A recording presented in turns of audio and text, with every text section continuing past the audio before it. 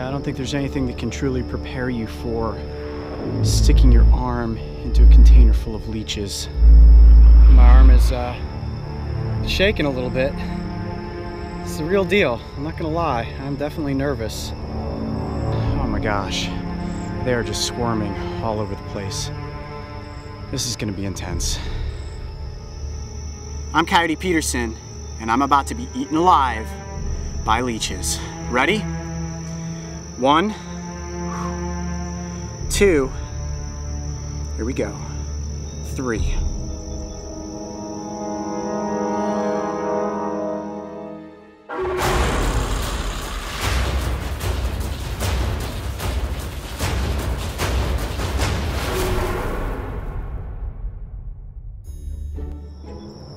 You know, normally on a day like this, I'd be out there in the lily pads catching snapping turtles. But today, we're gonna do something a little different. Now, when we post these Dragon Tails episodes, a lot of you write in and say, Coyote, how many times have you been covered in leeches? And the answer to that question is absolutely never. In fact, in 20 years of catching turtles, being in swamps, ponds, lakes, ankle deep to neck deep, I have had virtually zero leeches end up on my body. The only time I think I've ever actually had a leech on me is when I've been holding a snapping turtle and one has actually crawled off the turtle and onto my hand. And even when they did, they would suction on, but they would never suck blood. I'm sure a lot of you have seen the movie Stand By Me. You know, that scene when the kids wander down into the swamp and get covered in leeches and they're like, ah, oh, we're being eaten alive. That does not happen. So what we're gonna do today is prove that not all leeches suck human blood.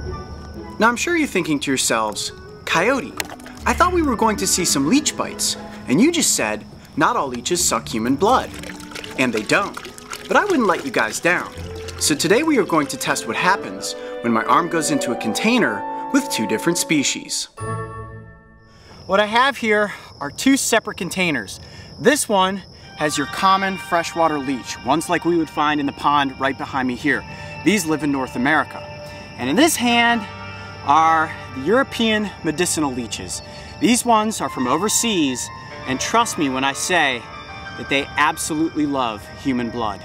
All right, what I'm gonna do now is dump the freshwater leeches into the container, and I'm gonna put my arm in there. You guys ready? do it. Here you go, guys. Look at that. They are creepy looking, but I'm not nervous right now because I know that these leeches will not suck blood. Even if they attach to my arm, it's more of them being curious and testing out the environment than it is them wanting to get a meal. Moment of truth. My arm is about to go into the container with the freshwater leeches. Ready? Yep. One, two, three. I said I wasn't nervous, but even still, putting your arm into a container with any leeches definitely get your heart rate going. Oh boy, that one looks like it's actually going towards my arm right there. You see that? Most species of freshwater leeches, especially the ones that can be found in the United States, feed on small invertebrates or cold-blooded species like reptiles and amphibians. They are rather intelligent, and this is something new in their environment. They're going right up to my arm, and they're actually turning away. Look at that. I kept my arm submerged in the container for 15 minutes, and wasn't bitten by a single leech. Okay, so I think at this point we have proven that the freshwater leeches have no interest in sucking my blood. Let's bring out the European medicinal leeches and see what happens with those. The next type of leech is native to Eurasia and is likely the most famous species, as they have often been used in various medical procedures like reconstructive surgery. They live in muddy freshwater ecosystems and are notorious for feasting on blood. I just went and picked up the container of European medicinal leeches. You probably even change, you, know, you probably even notice the change in the inflection of my voice. I am actually nervous at this point. Uh, these leeches are going to adhere to my arm and they are going to consume my blood. They haven't eaten in a few days and trust me when I say that they are hungry. All right, you ready for me to put them into the container, Mark? All right, release the beast. Here they go. All right, this is it. No turning back now. This is for science. Oh boy. A lot of leeches in there, Coyote. This is gonna be crazy. All right, I think it's about time to stick my arm into a container full of leeches. Oh my gosh. They are just squirming all over the place. This is gonna be intense. Are we ready for me to be eaten alive by leeches? I think so. You're ready? Mark, you're ready. I know Yeah. you're ready. Ah, The camera's ready. Camera's ready. Coyote pack? I feel like you're probably ready. All right, There's a lot of leeches in there. there's a lot of leeches. All right, so without further ado, I'm Coyote Peterson, and I'm about to be eaten alive by leeches. Ready? One, two, here we go, three. That gets your nerves going, that's for sure. Look at that, there's one already, boom. Just like that, instantaneous, secured to my arm. Holy mackerel. They're just like swarming towards my arm. Look at that. One on my arm there, that's three. In a matter of seconds. My arm has been in here for, hold on, this one's like trying to go up my shirt. Go this way. Boom, another one there on my hand. My heart is racing right now. Look at that. They are all over me. Ah. Oh, I can definitely feel something happening. It feels like sandpaper grinding against my skin. My hand and arm have been in the water for about 60 seconds and all but one leech is now on my arm. Now, the way that the leech's sucker works is they adhere on and they release from their saliva an anticoagulant enzyme. That enzyme not only numbs the skin, it also doesn't allow the blood to clot. Now, they have teeth that are kind of in the shape of a Y. Here, Mark, look at my fingers. It looks like this, the three teeth of a leech. They go like that and they slice into you. And I can feel them actually cutting into my arm. And look at that, look at how that leech is bent over. It is holding on with the posterior sucker, which is the tail, and it is consuming blood from the anterior sucker, which is the mouth. And holy cow, is this uncomfortable. Ugh.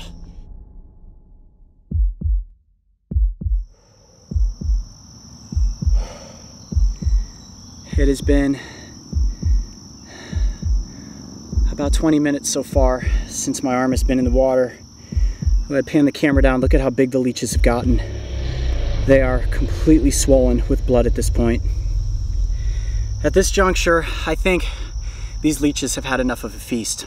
It's time to get them off of my hand and arm.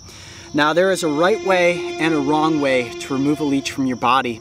You may think, let me yank it off. Yanking it off is bad because you can actually pull their teeth out into the wound. Those teeth get left in the wound, you can end up with an infection. Now you may think to yourself, well, maybe I should put salt on it or put a lighter behind it and heat it up and it will be like, I'm scared, let me get out of here. That's also really bad because it will actually cause the leech to regurgitate some of its food into the wound. That also will cause an infection. Now the best way to remove a leech is to just use the edge of your finger. And what I want to do is softly slide the anterior sucker off of the wound. Okay, you ready for that?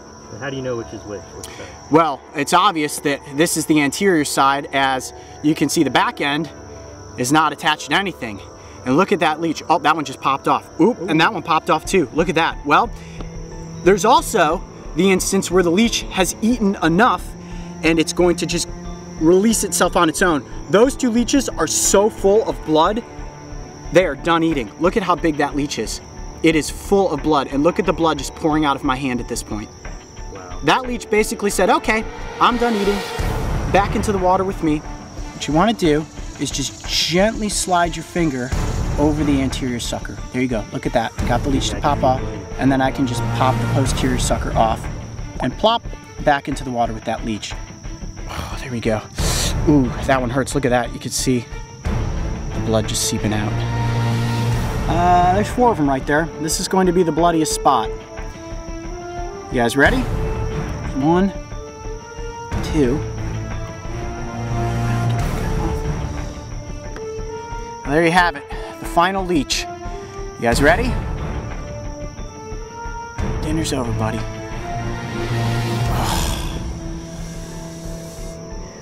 The blood, it's like there's a lot of water in my blood. That's the anticoagulant just breaking down all the platelets. And you can just see my blood almost looks really, really thin. And it's all about the amount of anticoagulant that actually went into my hand. I may be bleeding for hours at this point. My uh, hand is actually numb. And that's how these leeches, look at, look at how big and fat and heavy they all are at the bottom of the tank there. Uh, the water is all red. As you can see, the drips of blood falling down into the water. It's like a shark attack happened right here in this container. That's crazy. Well, I think ultimately at this point we have proven that while there are some species of leeches that will not give you a bloody bite, on the other hand, there are definitely some that will. Only thing left to do now is clean up this mess. Stick around and I'll show you exactly how to dress a leech bite if you're ever unfortunate enough to get one. I'm Coyote Peterson, be brave, stay wild, we'll see you on the next adventure. Man, that's a lot of blood. There are nearly 700 species of leeches found on our planet, and the good news is that only a very small percentage would even consider consuming human blood. This is not an animal you ever need to be afraid of. They do not transmit diseases and have never been responsible for a human death. As for me, I took on a massive amount of anticoagulant and bled for nearly 24 hours. In the end, was it worth it? Well, if you no longer fear going into a lake or pond, because we have proven that most North American freshwater leeches have no interest in drinking human blood, then I would definitely say that the answer is yes. If you thought removing the leeches was like watching a scene from a horror movie, make sure to check out the Behind the Adventure, where I show you how to clean up and treat the aftermath. And don't forget, subscribe to join me and the crew on this season of Dragon Tails.